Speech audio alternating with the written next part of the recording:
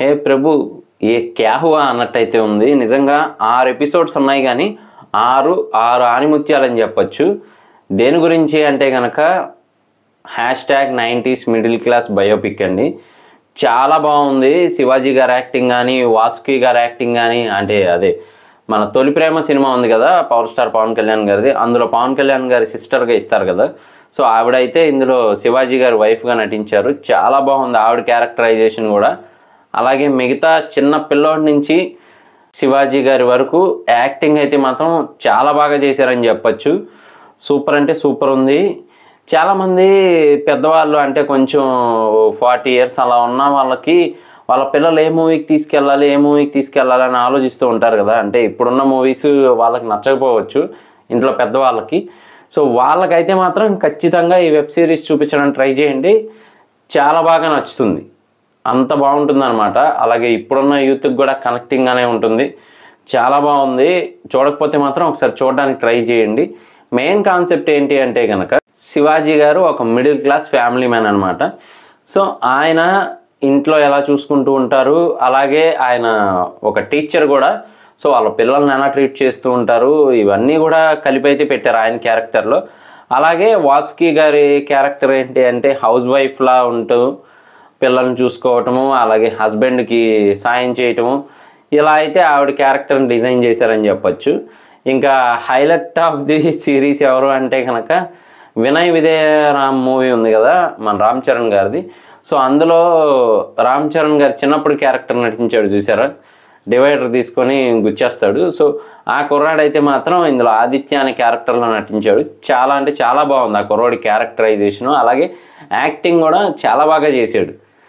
Next already boys hostel అనే దాంట్లో కూడా నటించాడు. తెలిసిన విషయమే కదా. ఈయనైతే మాత్రం యాక్టింగ్ కరెక్ట్గా సెట్ అవుతున్నాడు అనమాట క్యారెక్టర్స్కి. సో రఘు అనే క్యారెక్టర్లో శివాజీ గారు పెద్ద కొడుకుగా అయితే నటించారు. స్టోరీ లైన్ అయితే చాలా డిఫరెంట్గా ఉంది. అంటే ఈ కుర్రోడు ఎప్పుడు ఫస్ట్ వచ్చే కుర్రోడు స్టేట్ ర్యాంక్ కొట్టే కుర్రోడు అనమాట శివాజీ గారు పెద్ద కొడుకు. కాకపోతే ఫైనల్ ఎగ్జామ్ వచ్చేపాటికి మాత్రం అసలు ఏం జరిగింది అనేది ఒక చిన్న స్టోరీ టైప్లో పెట్టారు. అలాగే ఆయన కూతురు కూడా ఉంటుంది. కరెక్ట్గా ఆయన దగ్గర డబ్బులు లేని టైంలో శివాజీ గారి దగ్గర డబ్బులు లేని టైంలో వాళ్ళ అమ్మాయి మెచ్యూర్ అవ్వటము ఆయన పడే టెన్షను ఇదంతా కూడా ప్రతి తండ్రికి కనెక్టింగ్ అవుతూ ఉంటుంది. అలాగే కొడుక్కి కనెక్టింగ్ అవుతూ ఉంటుంది. వైఫ్కి కనెక్టింగ్ అవుతూ ఉంటుంది. అంత బాగుంటుంది అనమాట అంటే ఏంట్రా ఇది రియల్ స్టోరీ తీసి పెట్టేశారా ఏంటనే టైప్లో అయితే ఉంటుందన్నమాట. చూస్తున్నంతసేపు కూడా మనకి. ప్రతిదీ అంటే నైంటీస్ కిడ్స్కి బాగా తెలుస్తుంది. ఏంటి అంటే కనుక అమృతం ఎప్పుడు వస్తుందా అని చెప్పి ఎదురు చూసేవాళ్ళు. సండే టైంలో అలాగా ఎయిట్ థర్టీకి వస్తుంది అని చెప్పి.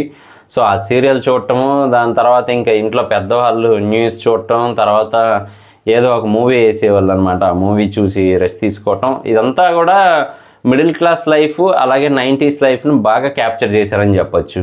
అప్పట్లో జరిగే సంఘటనలు అప్పుడు ఇంత డిజిటల్ ఇదంతా లేదు కదా. మనకి ఇప్పుడంటే మాత్రం ఈ మొత్తం స్మార్ట్ ఫోన్స్ ఇవన్నీ ఎక్కువైపోయాయి కానీ టెక్నాలజీ అప్పట్లో అంత లేదు.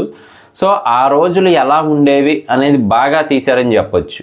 ఇప్పుడంటే CCC there there back side back side అని చెప్పి అంటూ ఉంటారు. పబ్జీలు బీజిఎంఐలు ఇవి. కానీ అప్పట్లో ఏమీ లేనప్పుడు అసలు జీవితం ఎంత బాగుంది ఏంటి అనేది మాత్రం బాగా చూపించారని చెప్పొచ్చు. డైరెక్టర్ మాత్రం. సో ఈ సీజన్కి సీజన్ టూ కూడా వస్తుందన్నమాట. అది ఇంకా ఏ రేంజ్లో ఉంటుంది అనేది మనం వెయిట్ చేసి చూడాల్సిందే. ఆ సీజన్ టూ రాబోతుంది అనేది చూపించే విధానం కూడా చాలా కామెడీగా చూపించారు.